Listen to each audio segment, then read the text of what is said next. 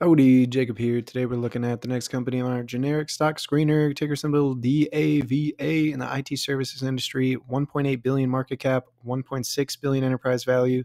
They provide technology services for clients in consumer products, healthcare, mobility, and retail verticals in North America, Europe, UK, and internationally. Founded in 2000, so somewhat newish. I guess 24 years, you can't really say super new, but new-ish, I'd say with a fantastic return on invested capital historically, fantastic growth rates, not so fantastic margins, but gross margin 10 to 15%, not bad. Gross margin 30%, not terrible. Not really any research and development expenses that we're seeing here. So mostly just cost of goods sold and sales general admin hitting their top line. And a little bit of increase in shares. Maybe it's stock based compensation balance sheet does show 208 million cash-like products with no long-term debt, no short-term debt. So we're feeling very comfortable with the balance sheet.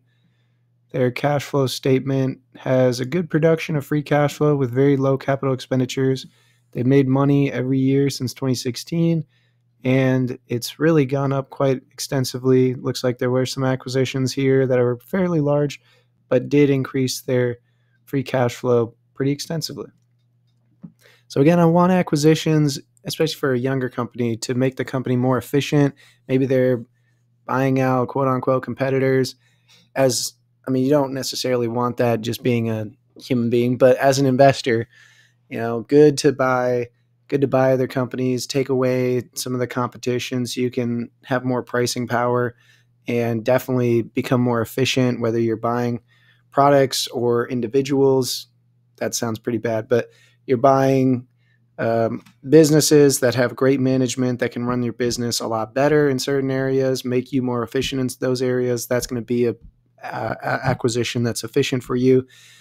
And outside of acquisitions, they've really just been reducing debt, and now they have no more debt to reduce. So we're kind of in a balance of, you know, what's most advantageous for us as shareholders, what's most advantageous for them to do. I mean, with a young company growing this much, I would say that with a high return on invested capital, definitely be reinvesting back into mm-hmm. yourself. That's that's a fantastic thing to do. If you historically you've gotten 15 to 20% return on the money reinvested back in the business, if you can find those opportunities to get those types of returns, absolutely. Why would you give money to me as a dividend, pay down debt, whatever, that's already zero? So for me, I definitely want them to be reinvesting back into themselves. We do see a big decline in revenue. Um, the most recent year, almost 10% down. But I mean, it's still so much higher than what it was from eight years ago. So maybe they can make some efficient acquisitions with the rest of their money going into reinvesting into other opportunities, other sectors, or again, just making themselves a better business by reinvesting in likewise companies or what whatever whatever form of reinvestment they be looking for they're looking for. So let's start making some assumptions here. I think that I probably wouldn't be surprised with 10% growth rate. Again, they had a decline of 10% recently, but they've been pretty solid at making acquisitions and historically, they've grown well above that. For me, as my conservative self, I think that's the best I'm looking to go. And then for margins here, I love that free cash flow is so much higher. I think I'd probably be comfortable with the 11, 11 and 13% on net income and free cash flow margins. For share change, 1% for them is about $18 million. They're not buying back any shares. They're issuing options about double that. So let's say they double or two, sorry, not double that, 2% uh, increase on shares per year.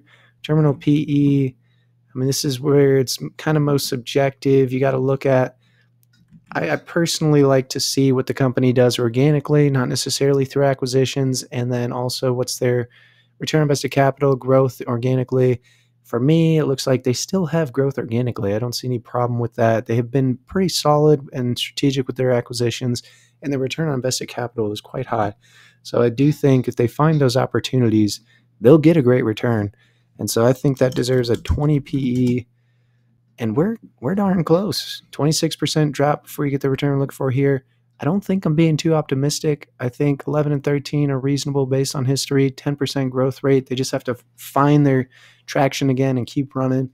2% increase of shares makes sense based on their option, stock price compensation options. 20 PE at the end of seven years seems to be reasonable for me based on their growth rate, based on their their size is still very small. So maybe I'd want a little bit extra return here if I were to do a, a deeper dive. Maybe I'd want a little bit extra return, but honestly, from what I'm seeing, looks pretty looks pretty darn close to something that could be an attractive price. So not too much longer till I hopefully do a deeper dive. Hope you enjoy the video and have a great day.